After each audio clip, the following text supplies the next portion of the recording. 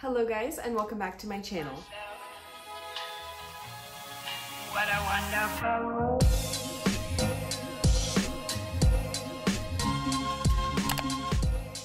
So today's video is going to be the introduction to my fall project Use It Up. I'm so excited to show you guys everything that I'm putting in for the fall project. It is actually, I think, all new products besides like a few things from the summer project, but I'm so excited to share this, share this with you guys. Keep in mind that it is still 100 degrees here in Texas, so I'm not quite 100% fall ready yet. I am as far as like home fragrance, but body care, I'm not there yet. So I'm still working on that, but I did put in some products. I think that will be a really great transition and I'm really excited to start using these. I hope you also enjoy the pumpkin theme that is going on in the background. I kind of decorated just a little bit for you guys, even though it still is August for me. And I put on a flannel, even though it is very hot. And I'm actually gonna take it off right now because it's so freaking hot. Oh, I left the tag on.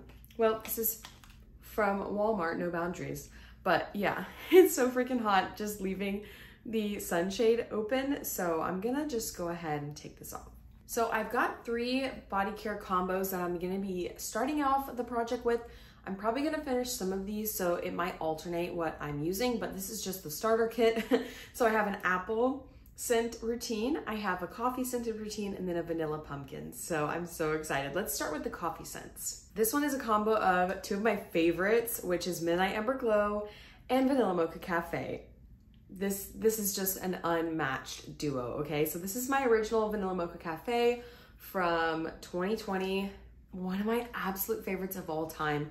I actually don't have the notes on this fine fragrance mist, but this is such a cozy scent. Smelling it right now just like makes me feel so warm and fuzzy. So I'll try to find the notes and pop them up on the screen for you guys. But this did come back out as a vanilla mocha cream.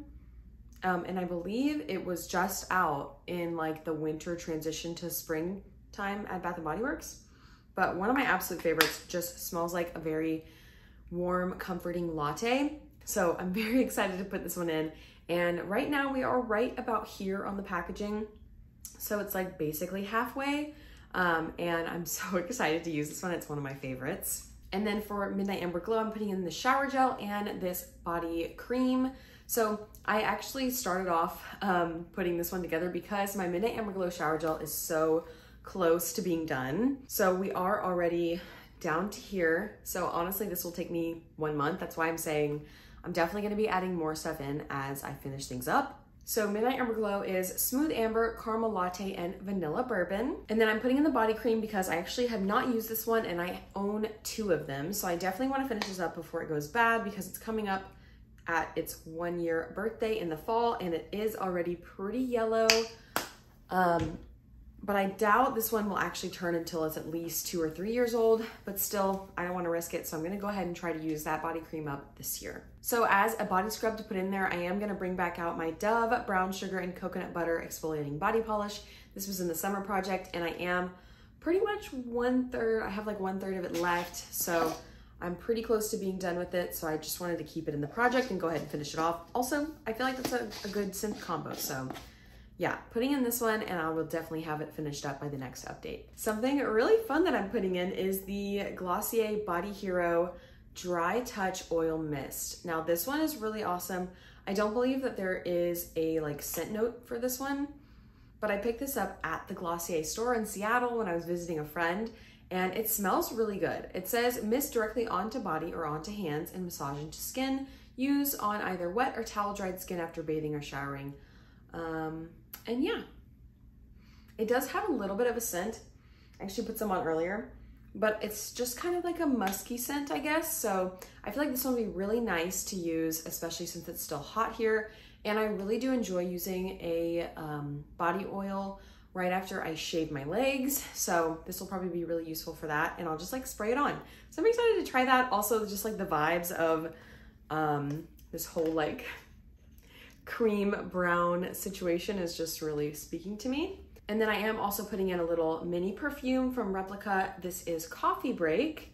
Excited to try this one out. I have sniffed it a few times before, like in Nordstrom and stuff, and I enjoyed it, sniffing it. So I'm excited to try this and see what I think. Next set is something that I've been dying to use, and that is Champagne Apple and Honey. I'm so happy I have this one. Um, I did pick it up, I believe, at Summer SAS and Winter SAS. Like I just started stocking up on product because it is one of my favorites, and I discovered that I loved it last fall. So I'm so excited to use this one. Champagne Apple and Honey is crisp apple, sparkling champagne, jasmine honey, and autumn woods. So yeah, this is the 2022 packaging. And I think it's really cute. It's got like the stitching kind of line. It looks like sweaters almost. I think it's adorable. So I have it both in the shower gel and in the lotion. And then I've also got it in two mini formulas. I did pick it up in the Fine Fragrance Mist, also from the same collection. This is unused. I figured that it would be better if I picked up the mini mist so I could actually just finish this whole thing during the fall because I go through mist pretty slow. So I think this is gonna be the absolute perfect September transition into fall scent. Well, it's still hot here, but I wanna feel like it's fall time. So I'll just like put in some apple scented stuff. Um, and then I have the body cream, which is about halfway used because I have brought this on a trip with me before, but it just smells amazing and I'm excited to use this one. And to jazz this scent up, I do have a body scrub and a perfume that I'm gonna put in. So of course, it wouldn't be a project use it up without a tree hut scrub. And this is the Apple Macchiato Shea Sugar Scrub from this year's fall collection. I'm really excited to use this one. It does smell like candy though. I have to say it's definitely more like candy than it is like actual genuine apple. So I'm curious to see how this one is when I actually use it on my body. But I'll keep you guys updated. It is unused. It is this like bright coral pink, but it smells delicious. It smells like if you had maybe like sour candy sour candies that were like apple flavor. That's what it smells like. So I'm excited to try it. I'll keep you guys updated. And then I'm gonna put in this little mini Sweet Like Candy from Ariana Grande perfume.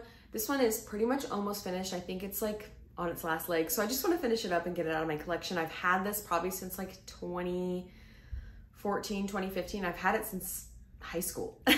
so it's, a, it's been a long time. So I definitely need to finish this one. And then for my final scent combo, it's the vanilla pumpkin scent. So if you watched my vlog from Monday, you would have seen my TJ Maxx haul and I hauled this pumpkin icing philosophy shower gel. I'm so excited to try this one. I had to put it in the project immediately. It smells delicious. It honestly does smell just like pumpkin icing, maybe with like some pumpkin pie spice mixed in there, but it smells so good. And it's not overly like gourmand pumpkin. It is definitely more of like a sweet sugar icing than it is gourmand. So I'm excited to try this one.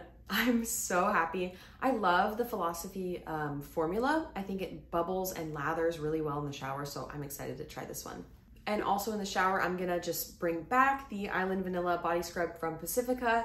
I'm pretty much almost done with this guy. Um, it's all the way down here, so I just wanted to finish it up before I kind of got rid of it. So that is this one. And then a scent that I just really wanted to use because it hasn't come back yet is Bonfire Bash. And I love this scent. It is the perfect summer to fall transition scent. And this is the 2020 packaging line. So it has like this beautiful pink leaf detailing on it. It's really gorgeous. The notes are vanilla bourbon, creamy sandalwood, and cashmere musk. And again, I'm about a little less than halfway on this bottle, but this scent is so pretty. It definitely has the vanilla bourbon aspect to it. It smells like marshmallows with bourbon or something. It's so good and one of my favorites that wears well on my body. So I'm really happy to put this one back into my rotation because I miss it. Okay, the last item that I'm putting in is my new Ariana Grande Mod Vanilla perfume. I'm excited to try this one. That's really why I put it in the project. So I knew I wanted to incorporate this into one of the routines, so why not do a pumpkin vanilla, right? So this is what it looks like. I have to say subpar sample size packaging, but okay. And it's not a rollerball, it is a spray, which I'm happy that it's a spray though. That actually worked out really well. I will put the scent notes down below. But this is like a light and airy kind of vanilla. I believe it has jasmine in it too, which I totally get. I feel like this one's gonna be really nice to wear down on your body, like after wearing it for a long day and kind of heats up on your skin. I feel like this one's gonna be so pretty. So I'm excited to try it and I'll keep you guys updated what I think of it. But that is the Ariana Grande Mod Vanilla.